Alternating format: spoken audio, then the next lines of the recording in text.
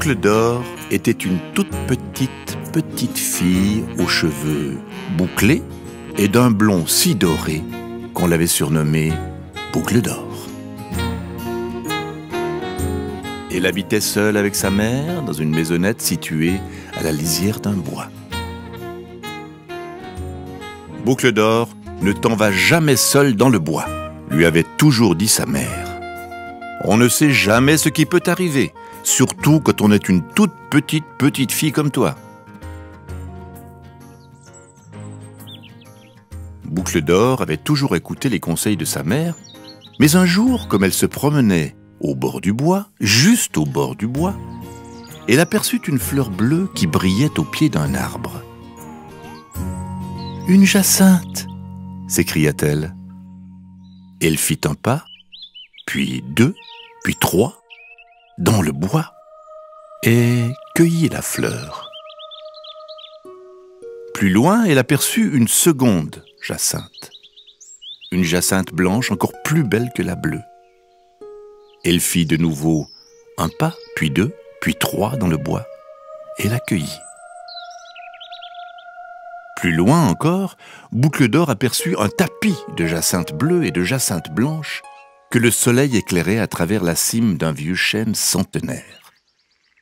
Boucle d'Or ne résista pas à l'envie de cueillir toutes ces fleurs. Elle ne fit pas qu'un pas, ou deux, ou même trois dans le bois. Elle se mit cette fois à courir, ivre de plaisir, cueillant çà et là des fleurs bleues et blanches pour en faire un bouquet. Seulement, quand Boucle d'Or voulut retourner chez elle pour offrir les fleurs à sa maman, elle s'aperçut qu'elle était perdue. Tous les chemins du bois se ressemblaient, si bien que Boucle d'Or ne savait plus lequel prendre. Elle en choisit un au hasard et marcha longtemps, longtemps, longtemps.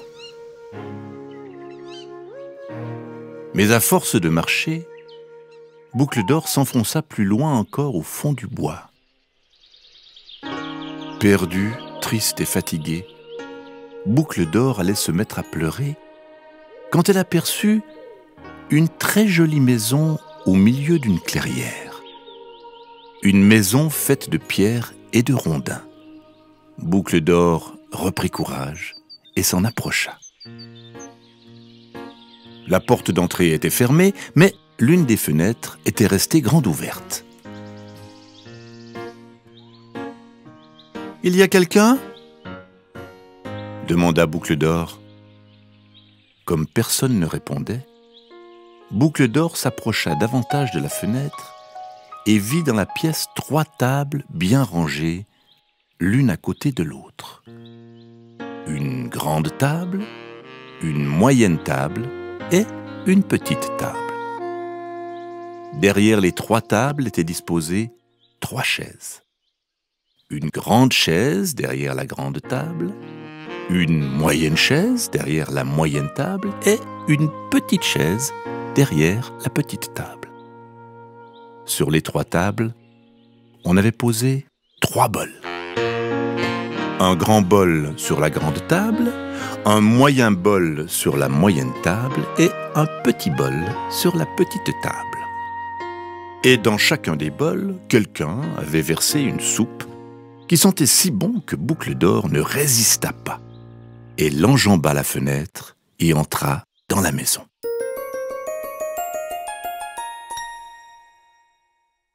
Boucle d'Or s'approcha de la grande table et voulut s'asseoir sur la grande chaise, mais la grande table était bien trop haute et la grande chaise bien trop haute et bien trop large pour une petite, petite fille. Elle alla devant la moyenne table, tenta de s'asseoir sur la moyenne chaise, mais la moyenne table était encore bien trop haute et la moyenne chaise toujours trop haute et trop large pour une petite, petite fille.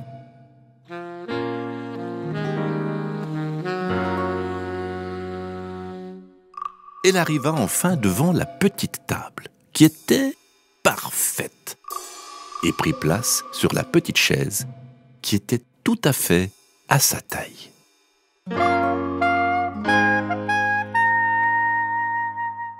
Puis Boucle d'Or voulut goûter la soupe. Mais la soupe dans le grand bol était bien trop brûlante pour une petite petite fille. Elle goûta la soupe du moyen bol, mais la soupe était bien trop salée pour une petite petite fille. Elle goûta enfin la soupe du petit bol, qui était tout à fait parfaite pour une petite petite fille.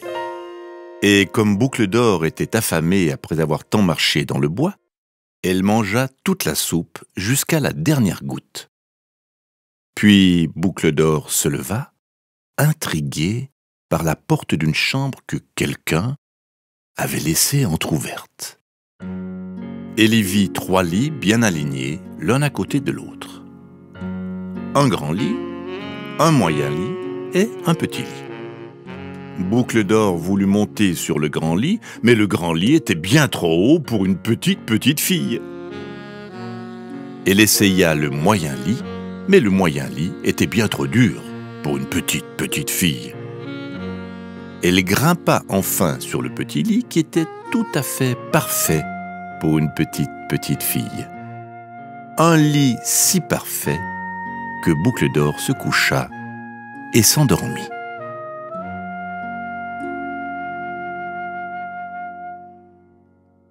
Peu de temps après, trois ours pénétrèrent dans la maison. Un grand ours, un moyen ours et un petit ours. Tous trois mouraient de faim car ils rentraient d'une longue marche dans la forêt. Le grand ours remarqua aussitôt que quelqu'un s'était introduit dans la maison. Quelqu'un a touché à ma grande chaise grogna-t-il de sa grande voix. Quelqu'un a dérangé ma moyenne chaise, ajouta le moyen ours d'une moyenne voix. Oh, on s'est assis sur ma petite chaise, murmura le petit ours d'une petite voix. Puis le grand ours s'approcha de la grande table et regarda son grand bol. Quelqu'un a goûté à ma soupe, dit-il d'une grande voix. Quelqu'un a aussi goûté la mienne ajouta le moyen ours de sa moyenne voix. On a mangé toute ma soupe gémit le petit ours de sa petite voix.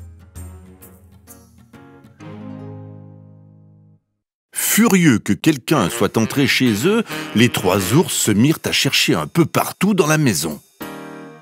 Le grand ours inspecta son lit et dit soudain de sa grande voix. Quelqu'un a touché mon lit. Quelqu'un a touché aussi le mien, ajouta le moyen ours de sa moyenne voix. Hein? Quelqu'un dort dans mon lit? s'écria le petit ours de sa petite voix. En entendant le petit cri, Boucle d'Or se réveilla les trois ours étaient penchés sur elle, au-dessus du petit lit. Boucle d'or poussa un cri, sauta d'un bond en bas du petit lit et s'échappa par la fenêtre que les ours avaient laissée grande ouverte. Le grand ours, qui n'était pas méchant du tout, se mit à rire en voyant Boucle d'or s'enfuir comme un brigand.